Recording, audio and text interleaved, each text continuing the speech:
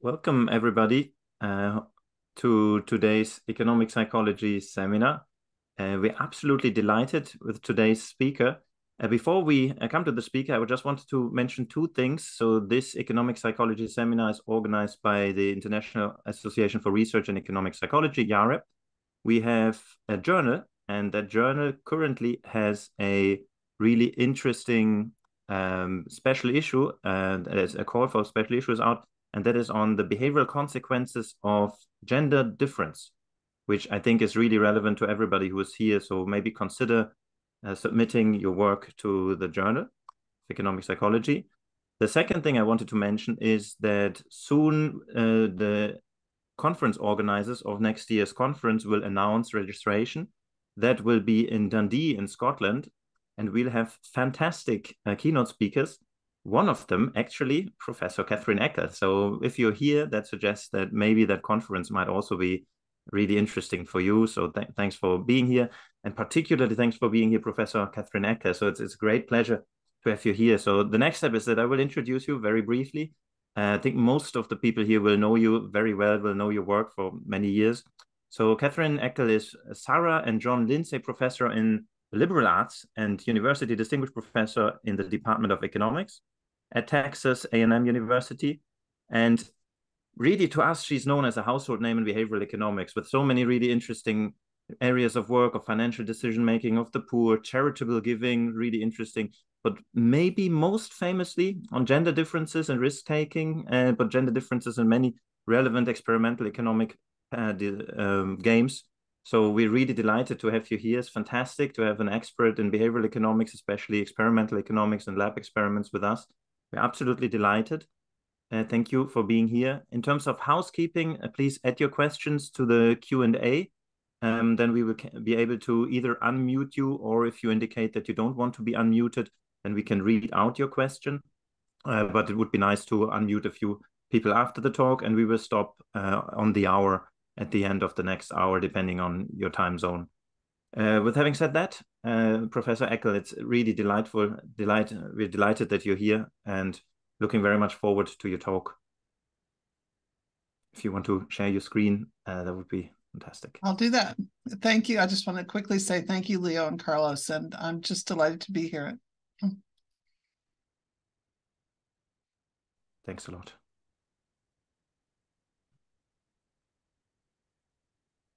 There, is that correct? That's coming out great. Thank you. All right. Well, uh, hello, everyone, and uh, thank you for coming today. It's uh, wonderful to see some familiar names in the list of participants and uh, some new names as well. I'm really excited to be here to be able to talk about this research with you. And um, yeah, it's uh, it's something that I've been working on for a few years now, and uh, I'm I mean I hope that I hope that you enjoy it.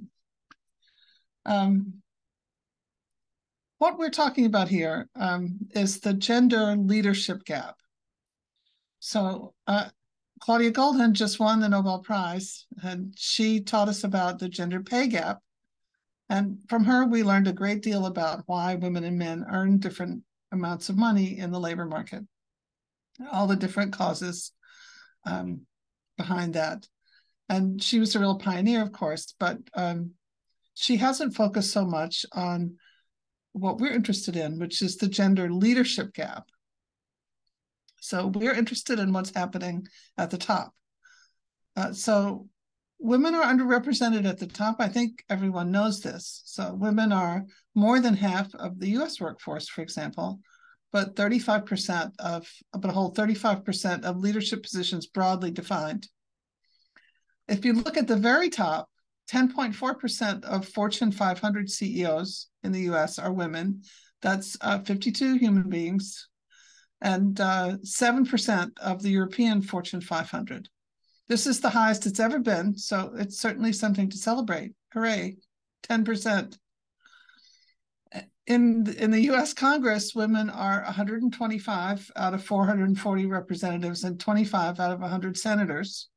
So that's you know a third to a quarter.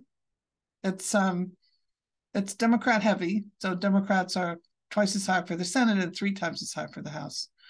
Uh, women who do make it to the upper ranks of the corporate world are not promoted or compensated the same as men. There's quite a bit of evidence showing that for the same position, women receive lower earnings. And this, so the question that we have then is, uh, despite a lot of effort and a great deal of progress, this gap remains. Why does it remain? Well, when you step back from the problem and think about gender differences, um, I like to think about two ways in which we might look at this, or really three. So the first is whether there are gender differences. That is, are women different from men? Are they different in their preferences, for example? A lot of my work has focused on risk aversion, on altruism. Uh, many people have worked on competitiveness, and there's even a little bit of evidence on time preference.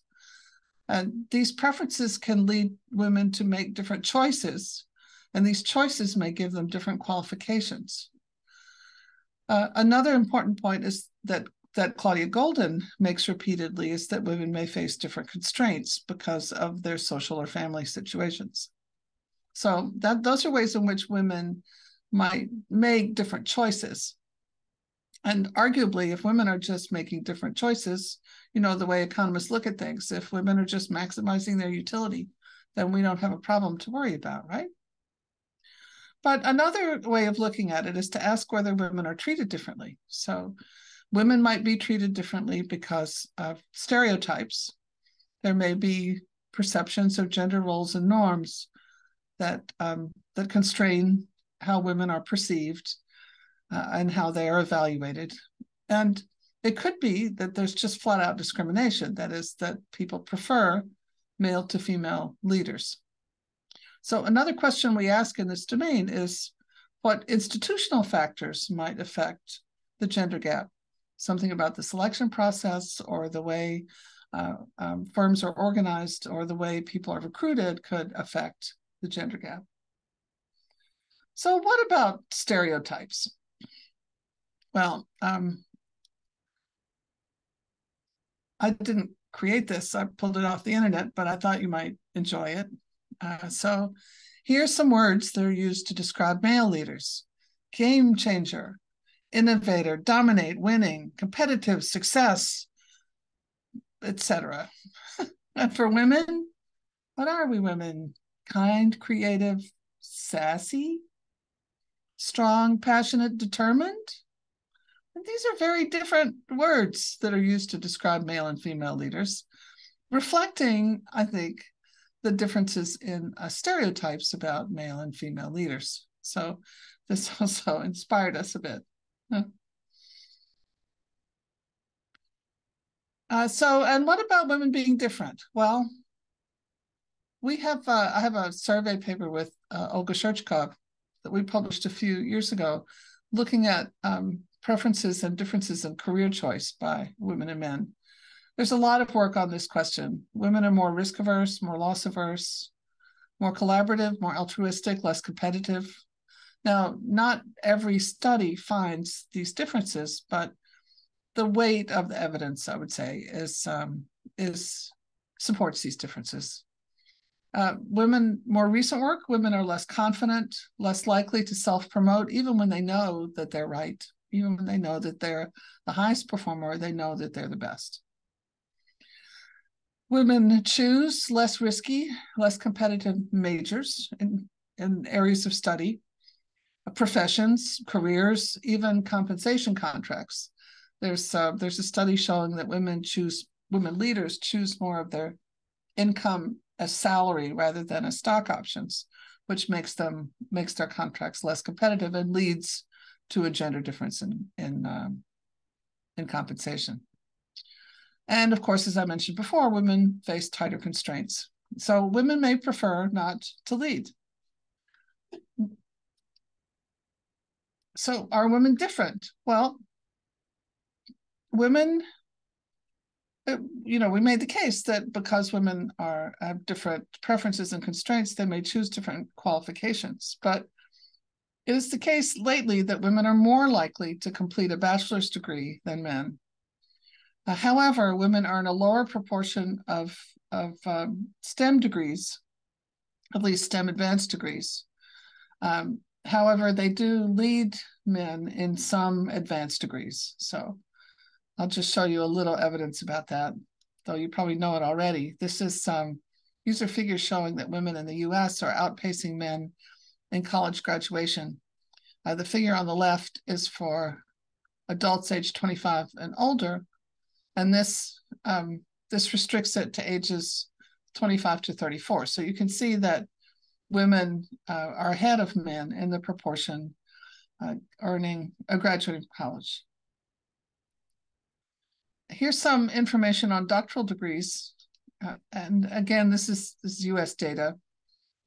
In, in business, business degrees broadly, uh, men are earning more than half of the advanced degrees, the doctoral degrees. But in public administration, which uses roughly the same set of skills, uh, women dominate, um, which is quite interesting. And in the social and behavioral sciences, just below that, more generally, you see that that women dominate. So women are clearly getting advanced degrees in more advanced degrees in some areas than um, than men. We'll come back to this a little bit later. So with women getting all these qualifications, why hasn't there been more progress at the top? That's our question. And now we get to the possibility that women are treated differently. So these um, these differences in treatment could be taste based or belief based. Taste based would mean that people just don't like women to be leaders, maybe because it violates social roles or social norms. Um, but the other is belief based discrimination, that people may have biased perceptions and beliefs about women and how they are treated.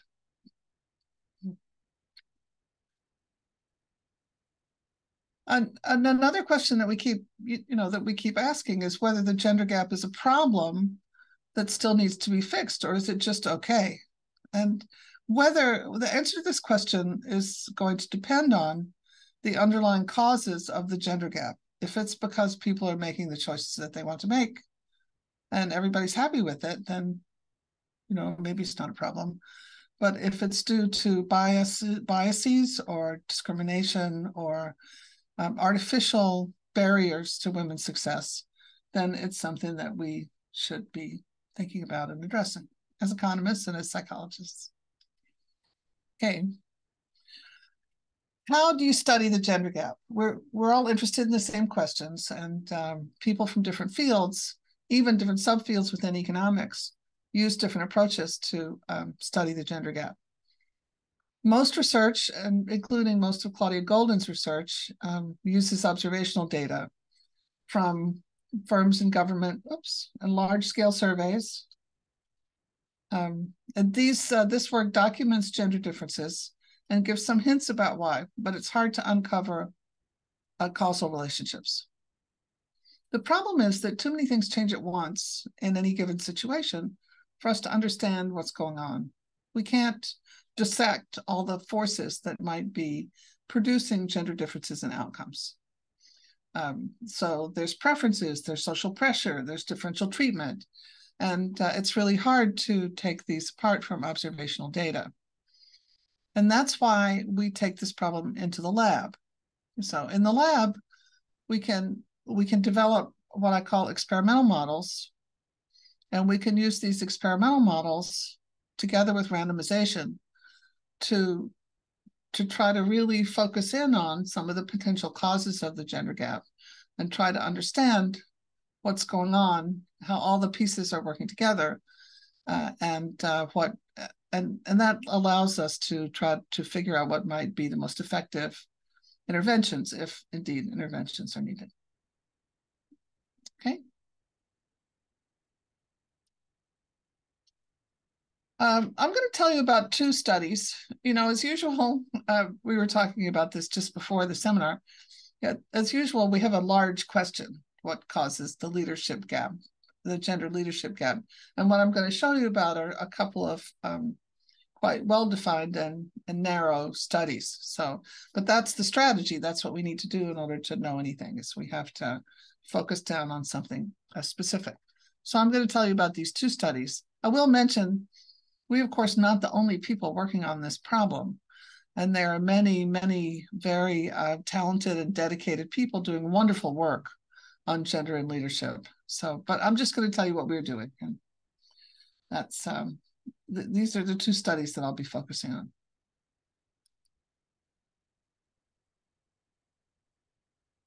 Okay, the first study is It Pays to Be a Man, and these are my co-authors.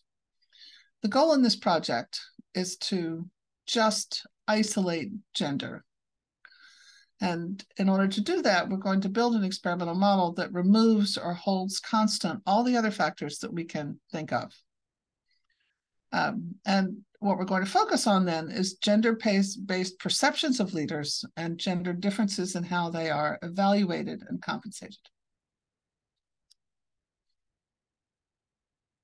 I like to talk about um, making experimental models. So the exercise of designing an experiment, of determining what's going to be in your experiment and what's not going to be in your experiment, is very, I, I think, closely parallel to the decision that formal theorists make when they're trying to design a formal model to capture a particular situation in the world. So we have to decide what to leave in. We have to decide what to take out, what to abstract away from. And we end up with a world, an experimental model that's that's quite different from the um, the motivating situation, but that allows us to focus on uh, the, a few key elements at a time. So the thing that we want to figure out uh, the most. So in this experiment, we had some design decisions to make we wanted to remove everything that might affect leadership success. So we really limit what the leader can do. There's no risk taking, there's no competitiveness, there's no ability involved in what the leader has to do. The leader has a very simple job to do, and I'll tell you about it. We want to remove any selection effects. That is, our leader is not selected by any process. The leader is a random leader. Uh, we do this in order to remove any selection based differences between the men and women who are selected for leadership jobs. Uh, the leaders in our experiment merely occupy the leadership position. They have no special information. All the information that they have is readily available to the followers. And there's no agency problem. The leaders' interests are perfectly aligned with the interests of their followers. So you might say, we've gotten rid of all the interesting stuff. what have we got left to look at?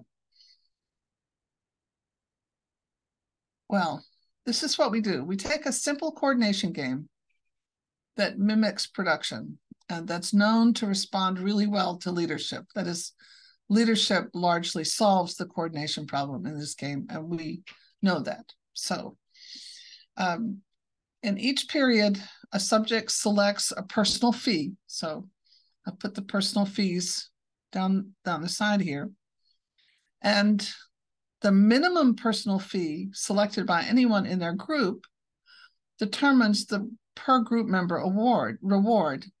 And the subject's earnings are the group reward minus the fee that they selected. So this is one person's decision uh, taking into account all the possible minimum fees in the group. And as you can see there's an there's an equilibrium for any commonly chosen fee. Um, so if everybody chooses zero, then everybody earns one, and no one has an incentive to move unilaterally. The best equilibrium is this one, where everybody chooses a fee, and the net earnings for all the group members are uh, a fee of three, and the net earnings for all the members is two. I hope that makes sense. so it's a very simple game we put people in groups and uh, and they play the game for a while. The leader's taken aside before the game starts, and there's one leader for every session. The leader's taken aside and given the same instructions that the group members get. And uh, their questions are answered, and we inform them that they're going to give a short message to the other subjects about how to play the game. And the message is we all need to choose a fee of three to maximize earnings. And we let them use their own words. But this is what they say. We all need to use to choose a fee of three. So that's what that's the leader's job. Uh, this doesn't require any skill. It, it doesn't require them to figure things out. It doesn't require anything except their ability to speak out loud. and they can all speak out loud. Uh, so in phase one of the game, people are put in groups of five. They each make an independent choice of a fee, and they play for 10 periods with a fixed group. No leader. Then between period 10 and 11, the leader enters the lab, walks to the front of the room, gets up on a platform and says, everybody needs to choose three. You should all choose three. Three is what you should choose. Definitely choose three. Everything will be better. The groups are reformed and they play for 10 more periods with new fixed groups. So that's it. Now, here's what happens. A leader really improves um, coordination. So first here on the left, we have the situation with no leader. These first two columns are the groups that going to that are going to end up with a female leader. So in the first phase of their game, there's no leader, so no female leader, no leader. And then the female leader enters. So green is good. That's people choosing three. And you can see that the proportion of people picking green goes way up. Picking uh, three goes way up.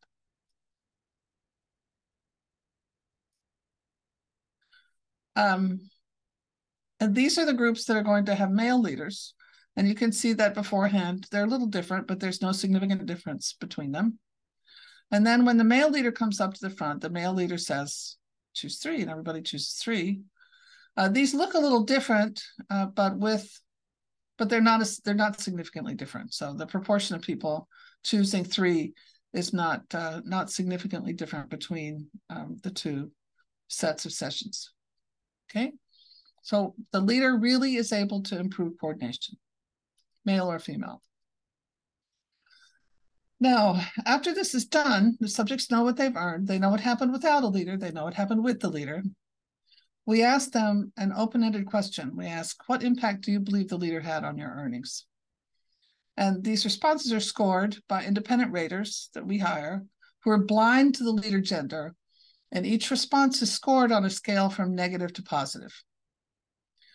Um, the followers, so the outcome of this evaluation process is that the followers consistently rated male leaders more highly with respect to their impact on the followers' earnings.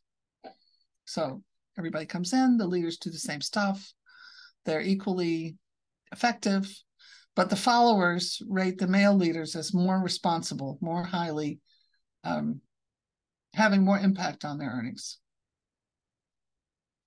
In case you want to see the distribution, here's the impact, the distribution of the impact scores from minus five to plus five. The good news is that the subjects do think, for the most part, that uh, the leader positively impacted their earnings, except look at all these negative things for the women leaders.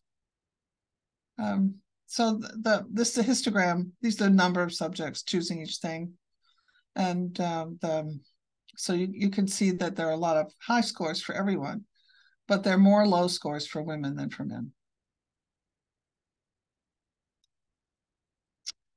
Then the um, the followers vote on the leader's bonus. So it's not free to give the leader a bonus; they have to pay for it. And they vote. Uh, they each choose um, a bonus, and we pick the the bonus that the, the majority supports. So the average bonus is 17% higher for men than for women. For the same performance, the bonus is higher. Uh, so we uh, we can control for some stuff. We can control. We also have other ratings of the leaders, so we can control for uh, their leadership attributes, their attractiveness. Um, no matter what we control for, the male leaders receive a significant bon bonus premium.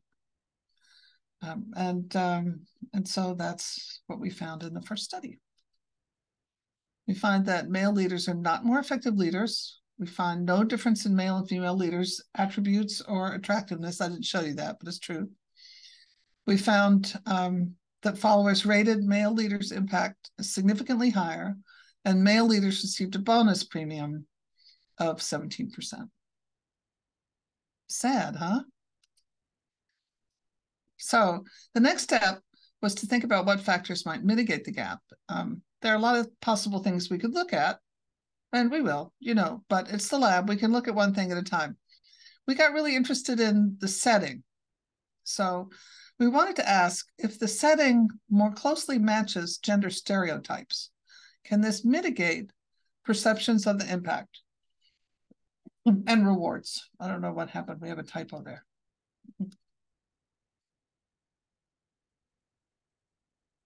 Okay, so study two is the gender leadership gap in competitive and cooperative settings. And here are my co-authors. Why look at the competitiveness of the job? Well, we know from other lab experiments and from field data that women are more likely to choose to work in less competitive or more cooperative environments. Not that every woman does this, but on average. Uh, women get a larger share of advanced degrees in cooperative settings. So what I mentioned before, in business management, men get more degrees, but in nonprofit management or public admin, still management, women get more of the degrees. Uh, less is known about how the job setting affects leadership. So we exogenously vary the environment in a novel game. Uh, we manipulate the incentive structure of a, of, a, of a game that's pretty well known for employees to make it more cooperative or more competitiveness. And this is just kind of in a small way we keep the um, the leaders' incentives constant.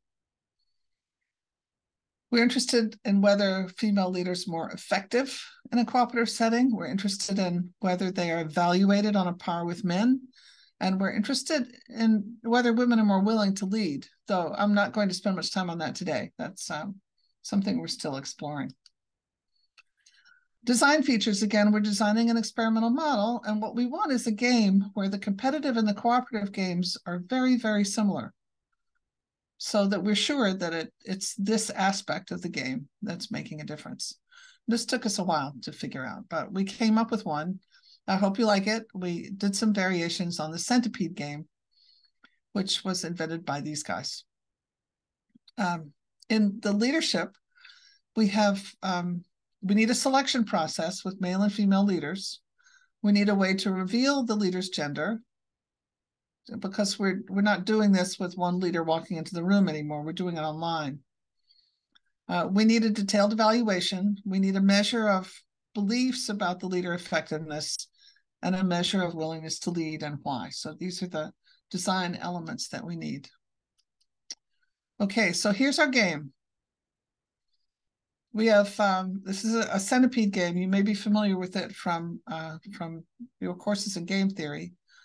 They're decision nodes. They're, they're there are two people playing the game, and at the first node, the first player can either stop or pass. If they stop, the blue player earns four and the red player earns one.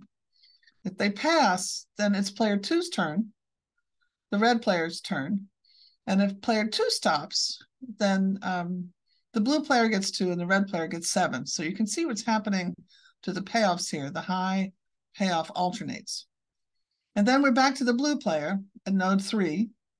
The blue player can either pass or stop. And if they stop, they earn 10 and the red player earns three and on we go. Uh, so there are two, there's these two players. The blue makes the odd decisions and the red makes the even decisions and the total payoffs increase as you go along. The Nash equilibrium of the game by backward induction is that both players should stop at the earliest opportunity because they don't want to risk reducing their earnings by going to the next node. And uh, so we should get an equilibrium at one, at node one with uh, the first player exiting. But of course, subjects are smarter than that, and they they manage to get more money out of the experimenter uh, by passing. So somehow they manage to to play the game as so many games like this, and and they don't stop at the beginning. Uh, so there's some possibility that they can coordinate and keep going in this game. Again, we have we introduce leadership. In this case, the leader is a third party, not one of the two players. And the leader's job is to make suggestions. So it's leading by suggestion.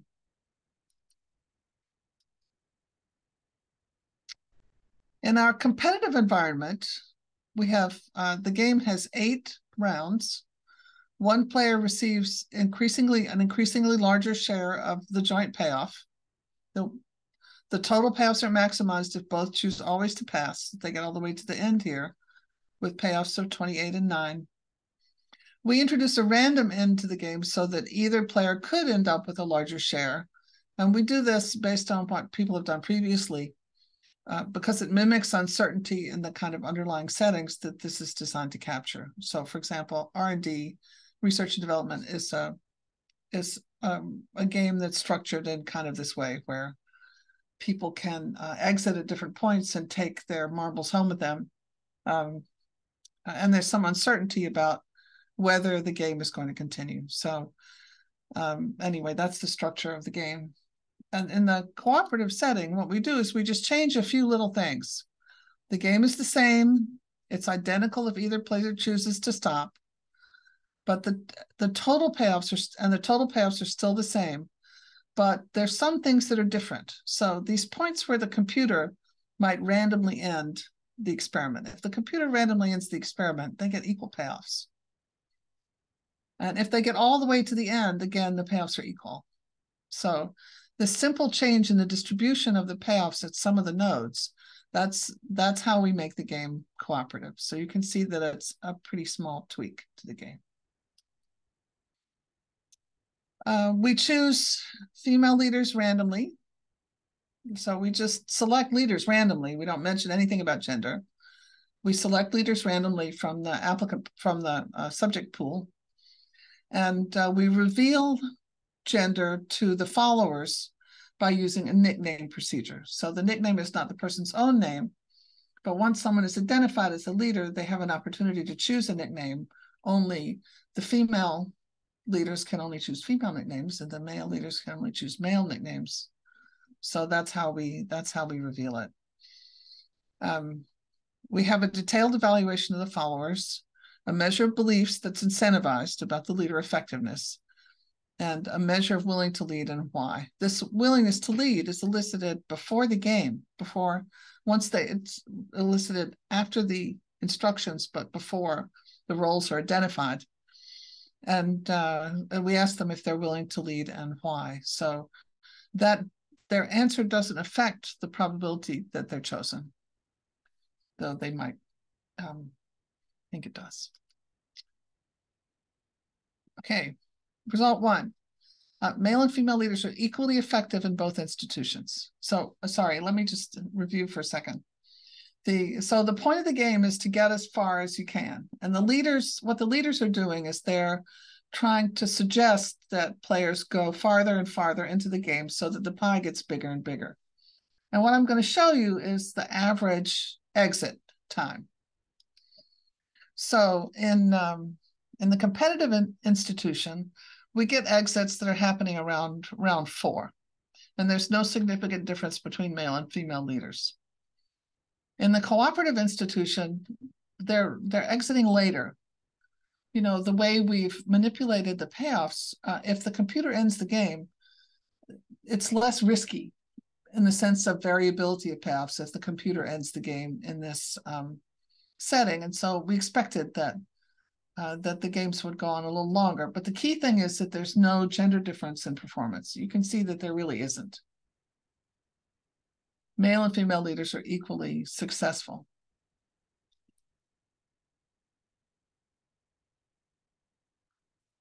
Okay.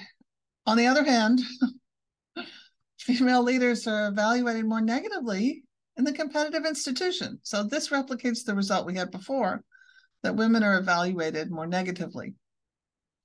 Uh, but interestingly, um, we've made the um, we've made this disappear. The difference in evaluations, we've made it disappear in the cooperative institution. So uh, women and men, remember, are equally successful equally productive in the two institutions. But in the cooperative institution, with just these little changes, uh, male and female um, leaders are evaluated the same now.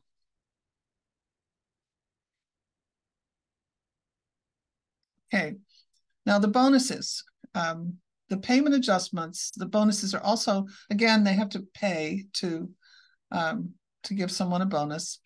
And the payment adjustments are also lower for women in the competitive treatment, uh, plus 19 for male leaders. So they can reward or penalize leaders. And the male leaders get a little bonus and the female leaders get a little penalty.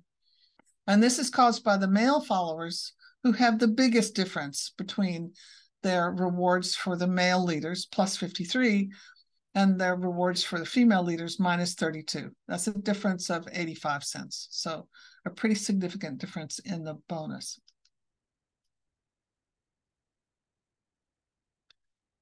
Okay, what about willingness to lead? Well, women report a lower willingness to lead in both environments.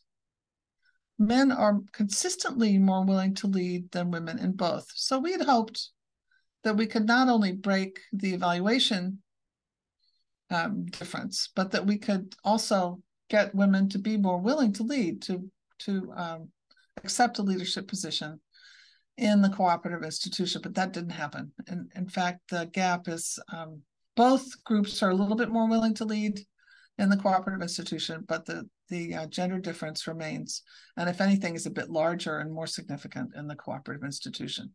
You see, the men like leading; they like to lead in the cooperative institution. So that uh, that was not uh, what we expected, um, but that's why you run experiments is to find out the answer. Okay, so what are the takeaways from this one? Uh, from this one, we know that um, men and women are equally effective in this in these simple games. And I didn't show you this, but they're also ex ante believed to be equally effective. That is, um, the predicted, we incentivize, we elicit a predicted ending time for the male and female leaders, and there's no difference in that predicted ending time. Um, female leaders are penalized in evaluations and bonuses in the competitive environment only, despite being equally effective as the male leaders. So the good news there is by introducing a cooperative environment, one that is more consistent with the stereotypes about female leaders, we are able to get rid of the difference in evaluation and bonuses conditional on performance. However, women are still substantially less willing to become leaders in both environments, irrespective of, of uh, which environment we put them in, and even in the cooperative settings. So, our results suggest that a cooperative setting and institutional change toward a more cooperative setting can help to close the gender gap in evaluation, but not the willingness to lead. Okay. So where are we? Well, study one showed us that when women are equally effective by design, they're evaluated lower and rewarded less. Study two replicates this for competitive environments, but shows that a more cooperative environment can eliminate the gender gap. So the environment can affect the way in which women are evaluated and rewarded, and that's the contribution there. That's the news. Um, the what is the implication um, well, I think the implication is that we have to be careful in evaluating people to ensure that objective criteria are used.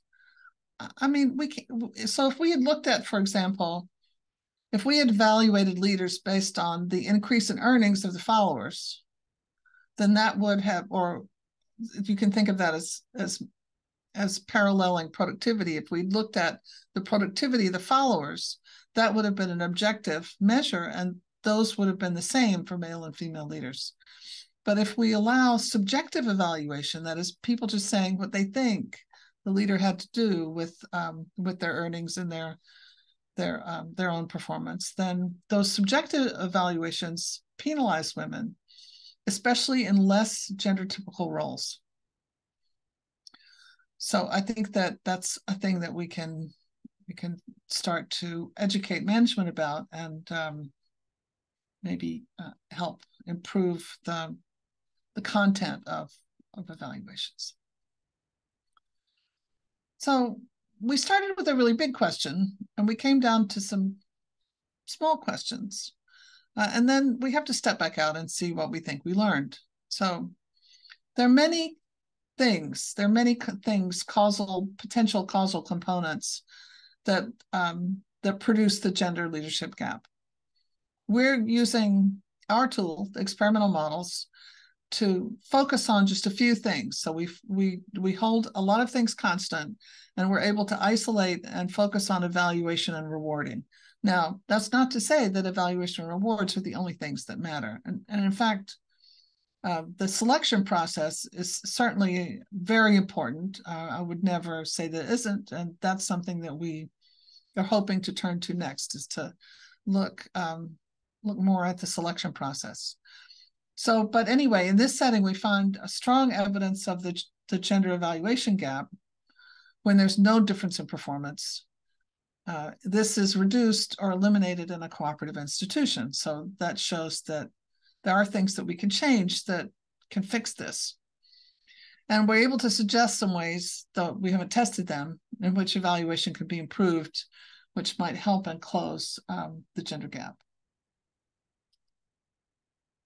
So just to just to wrap up, let's say there, you know, we're making progress. So we're making progress and progress is good. And the more progress we make, the more we will make, I think. So just to get back to the women CEOs, this is what the path has looked like. You know, it it's really um, increased. The proportion of women CEOs in the Fortune 500 has really increased. Now, it's still only 10%, but it's definitely better than it was even just a few years ago. I also want to mention some follow-up material so that you can, uh, if you're interested in this, you can uh, dig into it a little bit further. The survey articles by Olga and me, and another survey we did on the current state of gender, of gender and leadership in experiments, and that that covers uh, the wonderful work of a lot of other people and not just ourselves. And then there are books that you should all read. You should all read Claudia Goldin's book. It's wonderful.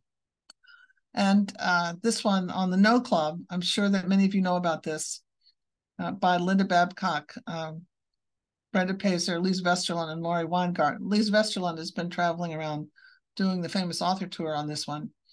And the idea here is that uh, women are more likely to be asked to do tasks that are not rewarded. So that's a, another aspect of selection that that is um, is very interesting. They have a number of suggestions for how to fix that.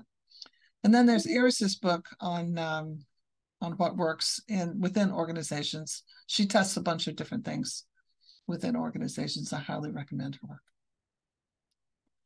Okay, I'll leave you with um, my wonderful co-authors uh, and uh, hope that you have questions and suggestions and uh, ideas that you can send along to us. Thanks. Fantastic. You'll get a round of applause from everybody at home. You can't see it, but that that's that's really great. Thanks, thanks a lot. That was fantastic. I think uh, we really try to have a cooperative environment in these seminars. So we need a leader who we hopefully then won't uh, look look bad upon. Uh, the first. I'm glad to hear it. Uh, Laura, do you want to ask, ask the first question? Um, I will try to unmute you, and then you can uh, give your first question, Laura G, if you're okay with that. Thank you. Um, thank you so much, Catherine, for an interesting. Hi, Laura. Hi. uh, one question that I thought you were going to get to, but I don't think you actually did, was I was curious, do you see does this vary by the makeup of the group's gender?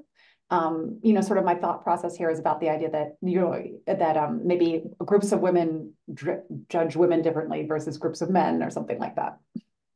Yeah, we don't have a lot of evidence of that. So um, most of the effects that we see come from both male and female um, followers. There, there are some uh, some patterns in that part of the results, but you, you know nothing that's that's really clear enough for us to be able to conclude much. It's certainly not true that women don't do it. women okay, well, evaluate men higher than men also. Yeah, they do. Hmm.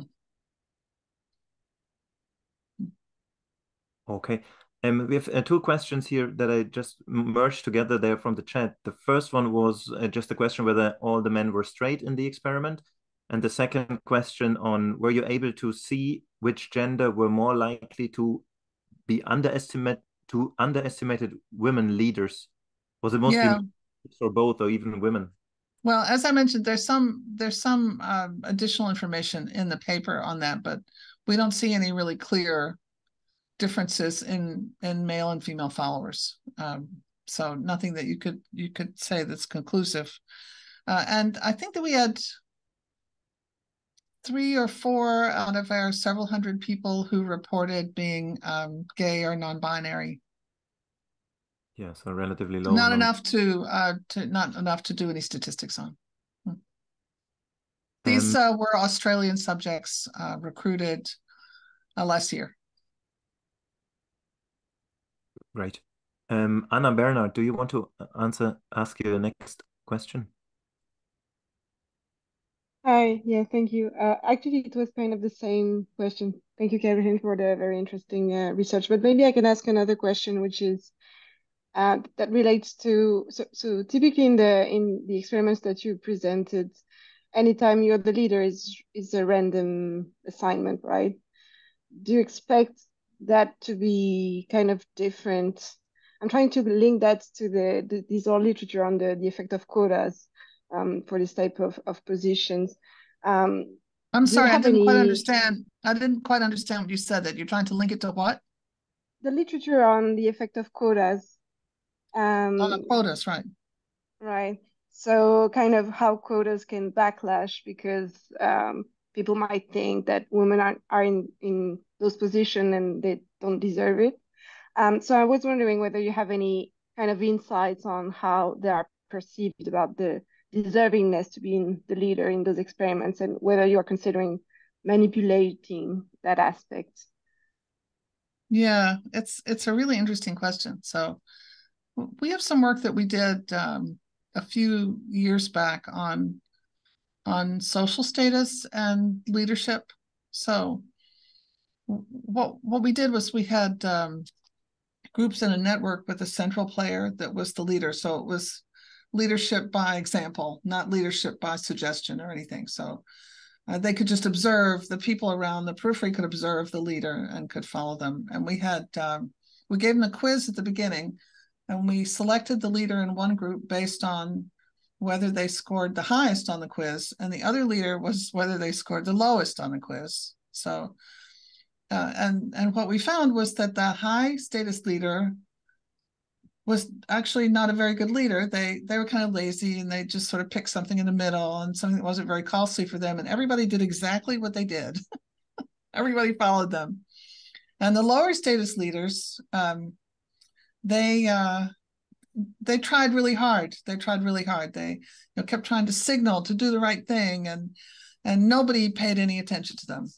They had essentially no effect on the on the followers' behavior. So how the leader is selected, the bottom line there is that how the leader is selected is extremely important, regardless of gender. And uh, if there's a gender component to that, it may be that that the that the selection process is um, judged or evaluated differently. So this is something that we haven't explored in the gender difference um, environment and something that we really would like to explore. And um, of course, you know, send me your thoughts.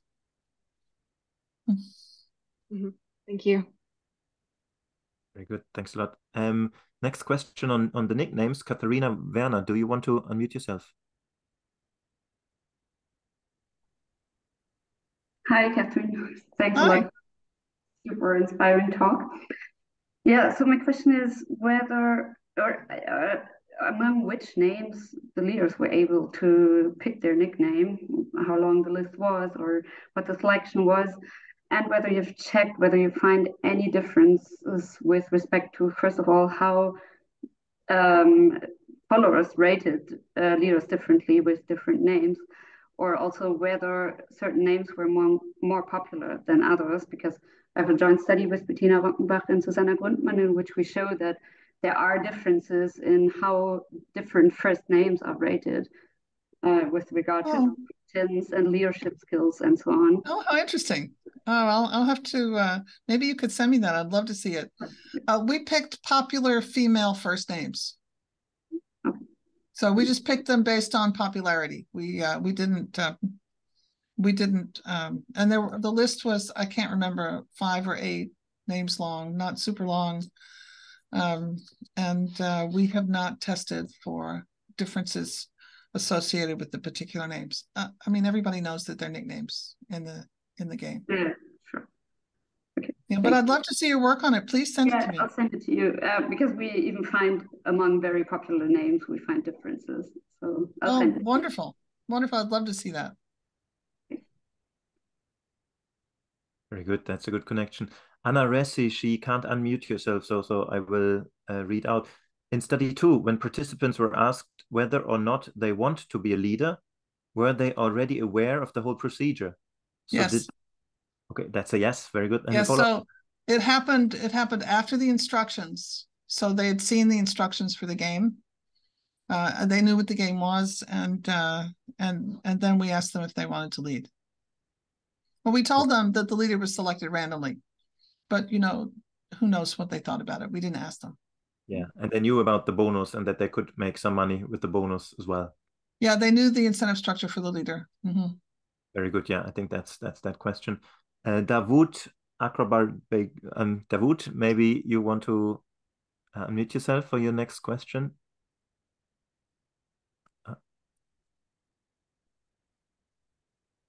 Can you uh, speak if you can you unmute yourself? Yeah, still muted. Still muted. Wood. Um, I will just read out the question. Uh, did you also ask the participants whether they had previous experiences with female or male leadership that may influence their opinion? We did not. You did not. Yeah. Okay. Mm. And that is in the library as well. Um.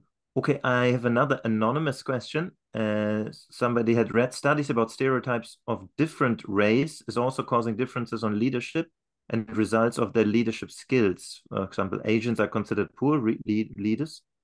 Uh, as you mentioned, we have Australian participants. Uh, did race matter? Um, you know, they don't know the race of their leader. Yeah, because that the nickname procedure masks any communication of race. Exactly. Yeah. Hmm. Um, I would have a question if, if I if I may, um, and that is about the practical relevance. You know, you said one of the solutions would be to change institutions from co competitive to cooperative. Oops, we lost Leo, or I did. Yeah, I think we just lost Leo because I also lost him. Uh, not sure what he was going to uh, to ask, but I had a similar question on that. I mean, you hinted that cooperative versus competitive. So, Leo, we lost you for a oh, bit. Can you state sorry, your question again? Okay.